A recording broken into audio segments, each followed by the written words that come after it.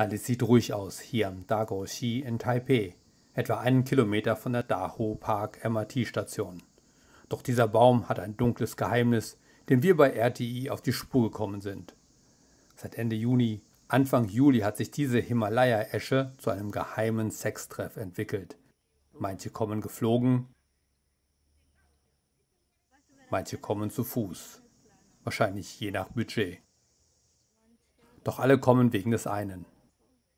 Tatsächlich ist Paarungszeit bei den japanischen Nashornkäfern und sie lieben es, sich auf Himalaya-Eschen zu treffen. Dabei ist Zuschauen wohl okay, doch mitmachen ist nicht erwünscht. Ups, da hätte er vielleicht doch einen Dreier zulassen sollen, anstatt selbst vom Baum gestoßen zu werden. Die Hörner der Männchen sind eine geeignete Waffe, doch manchmal scheinen die Tierchen auch einfach zu ringen. Hier geht es auch hart her, doch der Ausgang ist weniger deutlich.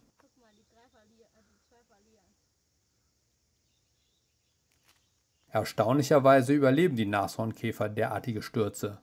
Aber benommen sehen diese beiden Kandidaten nach dem Sturz doch aus.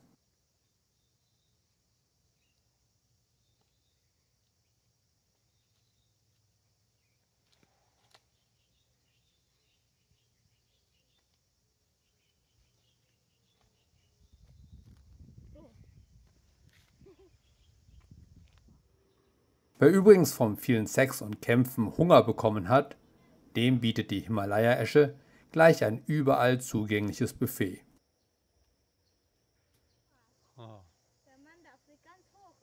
Allerdings werden auch andere Tiere angelockt, was aber auch nicht immer gern gesehen wird.